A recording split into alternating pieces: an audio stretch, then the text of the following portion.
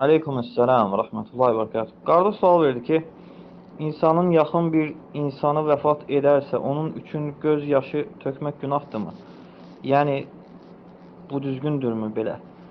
E, göz yaşı tökmək problem deyil. Ağlamaqda problem yoxdur. Sadəcə hansı ki o küfr olan əməlləri niyahə də, ümumən niyahə, yəni ağlamağın özü də ora daxil ola bilər.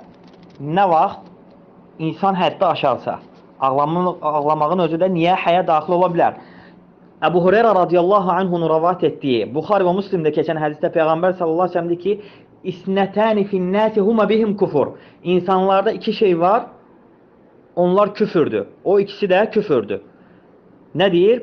Əl-ta'nu fin-nəsəb nəsəbə təni etmək, insanın nəsəbinə təni etmək və niyahatu aləl-meyyit və meyyitə niyahə eləmək.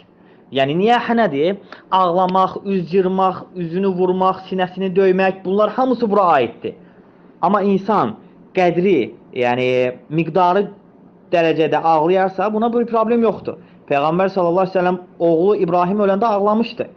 Və deyirlər ki, hətta sən də, yəni Peyğəmbər sallallahu əleyhi və səlləmə Peyğəmbər sallallahu əleyhi və səlləm deyir ki, bu rəhmət göz yaşlarıdır. Yəni ona rəhm edib ağlayıram. Oğluma rəhm edib ağlayıram. E, həddi aşmazsa, küfür, şirk sözlər deməzsə, ə, ağladığı zaman və həmçinin üzünü cırmaz, sinəsini döyməz, ə, yanağına vurmaz, bu cür şeylər etməzsə, bunda bir problem yoxdur.